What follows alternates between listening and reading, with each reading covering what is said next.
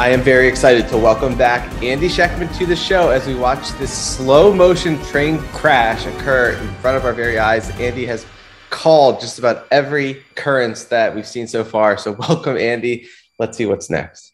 It's great to see you again, Elliot. I appreciate it. And yeah, a lot of these things are unfolding, and I, I'm not a soothsayer, Elliot, but if you just take a step back, I think everyone should see this. And it's not about being right, it's just about being prepared for what I think is coming. It is interesting, though, if you follow just the mainstream economists, you would have missed the boat big time in all this. So let's dive into what is actually going on in the economy and let's just get your take on it. So, first one is Fed's inflation fight made tougher by state relief efforts. So, what's happening? California announced tax rebates of up to $1,000 50 per family. Economists say measures will boost demand, fuel more inflation. So, what's happening is states are trying to put cash in the hands of the people, do fiscal stimulus to relieve the pressures of inflation. What do you think about that?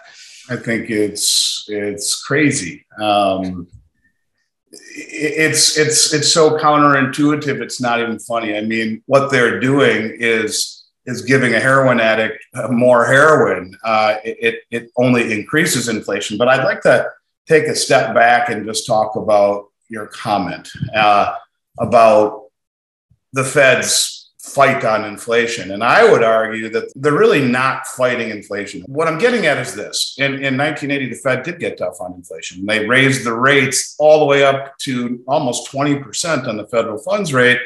That killed inflation. Now, our Fed says they're getting tough on inflation, right? So we really have 13.6% inflation, but let's just call it 9% they're getting tough on inflation, then why did they only raise rates by 75 basis points and three quarters of 1%? If they were getting tough, they would have raised them by 1,000 basis points to 10% or at least 900 to over their, their stated rate of inflation. But even more annoying and aggravating than all of this is their jawboning and bullshit about getting tough on inflation. The, their balance sheet, they told us in June. Now, I kept saying on your show, well, if they were really going to get tough on inflation, why didn't they sell off their balance sheet in April, and May?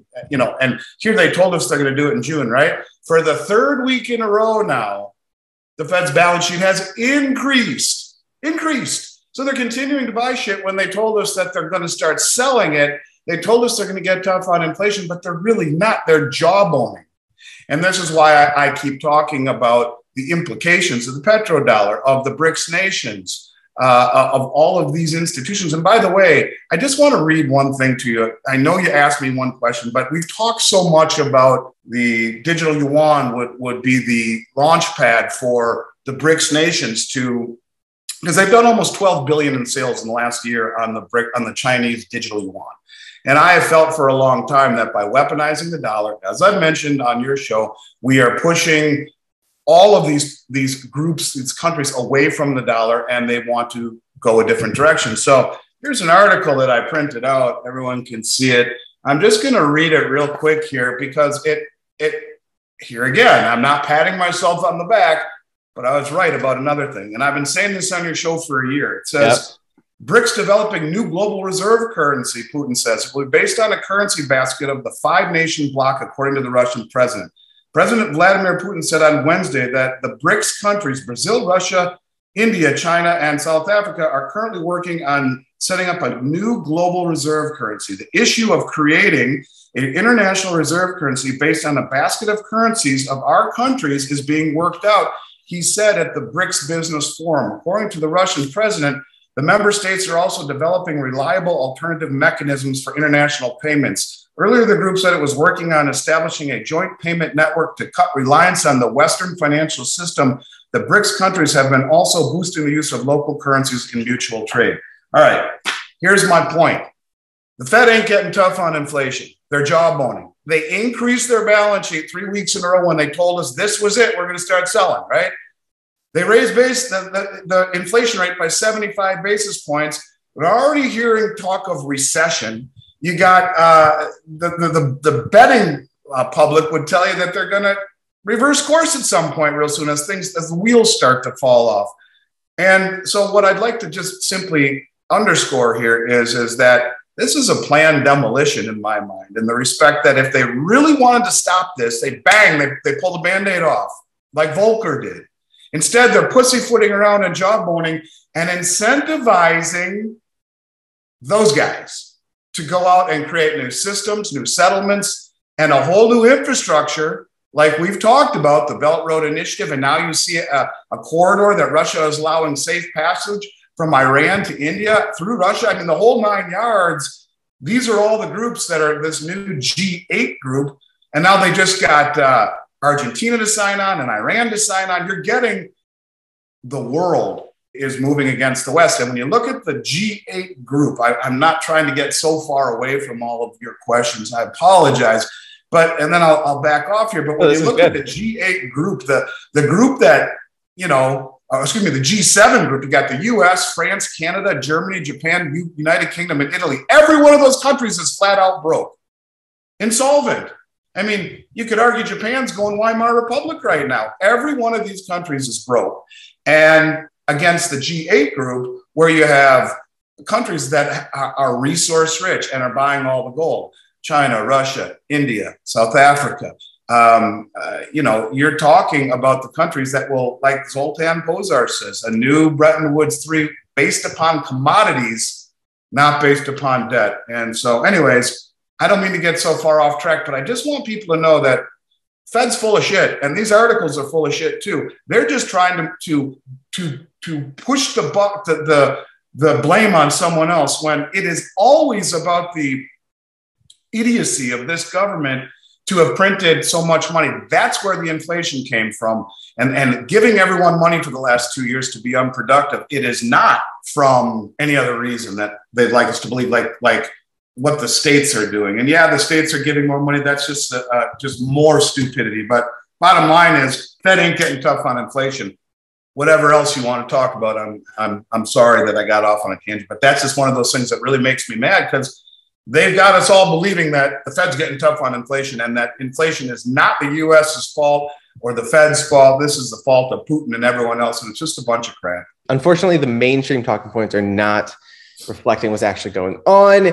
This is absolutely huge. There is strength in numbers. So if all the other countries in the world, 100 plus countries get together in a commodity linked, securely backed currency type of new world order, it is absolutely a threat that people need to pay attention to. It is so huge. And eventually, you know, they are getting stronger over time. And so that leads us into the next headline, which we know Russia has explicitly stated that if Finland or Sweden join NATO, there will be repercussions. We also know that Russia is dangerous, right? They like to attack and go to war with people when they feel threatened. So here is a headline NATO formally invites Finland and Sweden to join alliance. So what happens next? Uh, it's just absolute insanity. I mean, I'm not someone who, who's particularly fond of war, but you could argue that the U.S. is very hypocritical in the way that we do things. And um, you know, like I always say, if if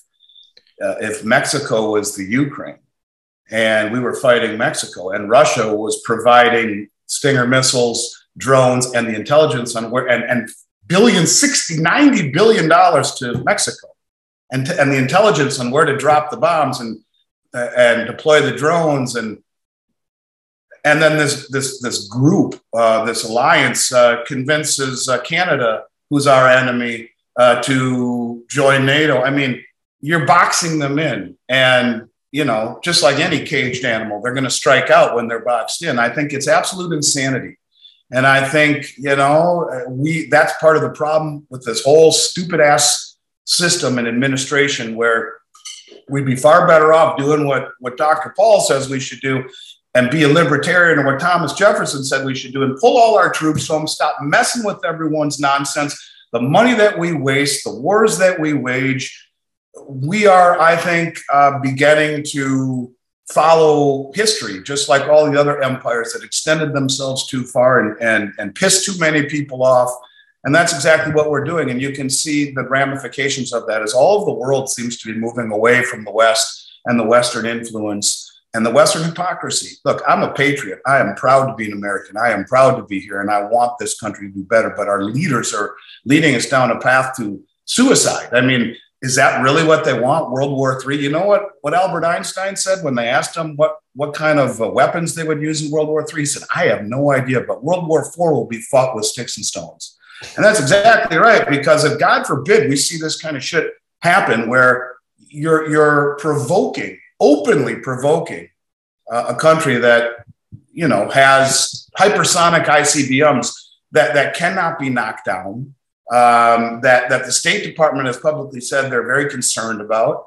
Uh, that we don't have the technology that they do. These are missiles that go many times the speed of sound, like Mach 10, way up in the atmosphere and hit the ground at the speed of an asteroid. We're provoking these guys. And, and they're telling us, don't do it. It's bad enough what's going on uh, in, um, uh, what's, the, what's the name of it? Uh, their, their blockade that they got going on right Kaliningrad? Kaliningrad, yes. I mean, you have your a rail blockade of, of, of strategic uh, minerals and metals and all sorts of stuff. I mean, you are provoking them in unimaginable ways. And yeah, in Kaliningrad, in Lithuania. And I, I just think uh, it's very frightening. I got three young kids. Well, my oldest being 21, my youngest being 15. And it scares the hell out of me the world that I'm growing up in or getting old in and the world my kids are growing up in. And it's these types of things far more than the economic ramifications.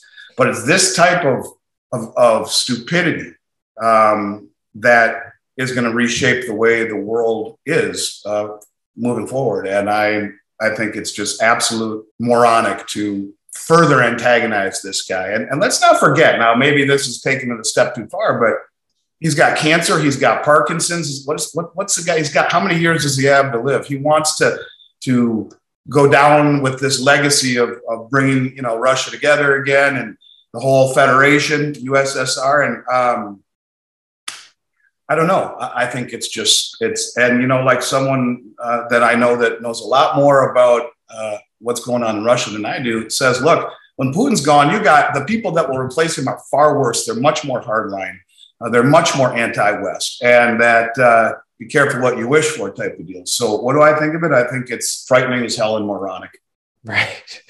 Well, it is interesting because Ray Dalio, he zooms out, he studies the rise and fall of empires. And so what happens is the big dominant empire gets bloated, they get indebted. And at the exact same time as they're at their weakest, the rising power comes up and threatens it. And so here we have this huge new group of countries threatening us while we're at our weakest. It's very, like you said, scary. So. And you don't even have to do it with missiles. I mean, if you realize that the Belt Road Initiative and now all of the other countries that are joining onto the BRICS coalition represent close to 85 to 90% of the world's population. Yeah. And you're just being isolated. And in a, in a global world, you're being isolated. I mean, China produces so much of the world's stuff, and they could just shut it off and say, you know, I mean, look, they they are building an infrastructure that will enable them to no longer need or be reliant upon the West. And that's what's very different. I mean, if you look at what made the United States the powerhouse, it was a manufacturing base. We were the manufacturer to the world. Now we're not. And that has all moved east. We had more gold than anyone. Now we don't. That has all moved to the east. We were the petro reserve dollar. We still are. But is that moving to the east too? Sure feels that way. And so when you talk about what it was that made the dollar what the dollar is, those things are starting to slide by. And the worst part about all this is, is that 65% of this country is living paycheck to paycheck. 99% of this country has their head buried in the sand and has no idea what's coming. And everyone thinks there's going to be an engineered soft landing. And you can see, I can see that that isn't what the central planners want. They want what Klaus Schwab said a great reset. How does that happen? You push everyone away from the dollar. OPEC denounces the dollar as the only as the only settlement currency for oil, and bang, overnight, dollars flood home, collapse the dollar, interest rates spike, hyperinflation, and stocks, bonds, and real estate collapse in a matter of hours. So all four pillars of wealth, dollar, stocks, bonds, real estate collapse. And the and the Fed didn't do it because they're getting tough. But no, they didn't get that tough because they don't want to be the one to light that powder keg with July 4th coming, they don't want the boom. Instead, they'd rather give it to those guys who will be the bad guys, just like Putin's to blame for all our ills right now, which is just stupid. Uh, they'll blame OPEC and the BRICS nations for blowing everything up in this country. And I, I wish I didn't see the world the way that I do. It's a curse right now, but it's also something that I won't be a victim if it happens. I'm preparing in every way, not just with gold and silver. If you don't have a whole bunch of food and water, if you don't have the ability to protect your family, if you haven't taken these steps by now, why are you not preparing? They said the, the Titanic couldn't sink or wouldn't sink. It was impossible. So they didn't have the life rafts that they needed in order for everyone to be safe and, and people died. And that's exactly what the what I see you know, the, the U.S. economy is a Titanic. The U.S. dollar is a Titanic, and uh, um, you can see the rats fleeing from the ship already.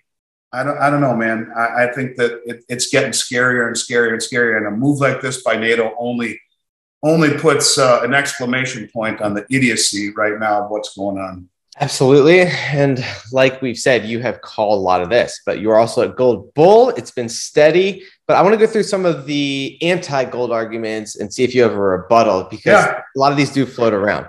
So, one is that gold is inflationary. And we have this art because the supply comes on at a fixed amount every year, a low inflation rate. Gold supply to fall after 2022 that's what this report says. Gold scrap supply is projected to decline at an average rate of 4.6% through 2027, but offsetting the fall in gold scrap supply is a forecast net rise in gold mine production. So the question for you is is that a concern? Do people need to feel like it's not as scarce if there is this offsetting online of production from these new mines? If you take all the gold that the United States supposedly owns at Fort Knox, over 8,000 metric tons, it comes to under a half a trillion dollars. Uh, and so, you know, the, the amount of gold that is mined each year versus uh, the amount of money that's out there, it's, it's ridiculous. And not only that, the cost of mining has become much more expensive um, with with higher fuel prices, and so mining production is going down for sure. Um, and you know, I think the low lying fruit has been picked long ago. I think that it, it's it's when you look at the amount of money that's out there that has been created that is in financial assets, and then realize that there's only been uh, I don't know how many trillions, maybe five trillion dollars worth of gold. I don't know what the numbers would be, but not much more than that. Mine since Genesis, you know. I mean, so no, I don't think it. And I think that if if when the world realizes that, and I think you know the fact that it was reclassified tier one is the biggest deal of all. When the world realizes that it's the COMEX manipulation of the price of gold that is creating this illusion that gold is not as valuable as it is, if you look at the acquisition of the central banks, they've been massively buying it for years now, since 2017. And how do they do it without the price rising? Well, the LME, the London Metals Exchange, and the COMEX are fraudulent. And they're able to suppress the price of levered futures contracts, while at the same time, their acquisition betrays the price. Their acquisition is, is telling you that they, you ain't seen nothing yet in the price of gold. Why would they have reclassified it tier one and not special drawing rights from the International Monetary Fund? It's the only other tier one asset other than US dollars and treasuries for the last 80 years. So all of a sudden, gold's now tier one. The central banks are accumulating it. And the price doesn't reflect it. But you know, let's take a look at the price just for a moment, if we may. And you look at every single asset class, cryptocurrencies, Bitcoin down 70, 80%. You look at uh, uh, the Dow Jones, the S&P, the Russell 2000, the Nasdaq, they're all down 30 percent or more, 20 to 30 percent. You look at the FANG stocks, some of them down 60, 70 percent. You look at everything, it's down, gold's up two or three percent. In the environment that's coming, Elliot, he or she who loses least wins. Gold is doing its job. You pull away the, the commercial and central bank manipulation, and gold is way higher. But the fact that they reclassified it tier one, the fact that the banks keep buying it, the fact that China and Russia keep accumulating it, the handwriting is on the wall. It will be much higher. It will peg itself to, I think, a new world reserve standard. So um, I don't know. No, I don't think it's inflationary, and I don't think you've seen anything yet uh, in terms of the price. Thank you so much for that rebuttal. I love throwing these arguments at you so we can get the other side. Obviously, this is what people hear, you know, a lot. So that is super helpful. Where can people go to buy gold if they are interested? So uh, our, I've been saying this for a while. Our new website will be rolled out in August. In the meantime, uh, make sure that they put the early stage investor in the subject line. Send us an email at info at milesfranklin.com. We'll reply with the current price list. We'll reply with any question, answers to any questions that were were made. And we welcome anyone out there to give us a call. We'll make sure that you get the most competitive prices in the industry and from a company with the best reputation and maybe one of the only major, if not the only major licensed and bonded precious metals company in America. So I appreciate our affiliation and the ability to be here and talk to your people. It means a lot to me. And I take that, as do my brokers, very seriously when we're talking to the people who call us from your channel. So give us a shot, fire away some questions. We'll give you the current price list and uh, do what we can to uh, make it a good experience. This discussion is for informational purposes only. Please consult a certified financial planner when making any decisions about investing. And do your own research before making any decisions. Investments are risky and you can lose lots of money in them.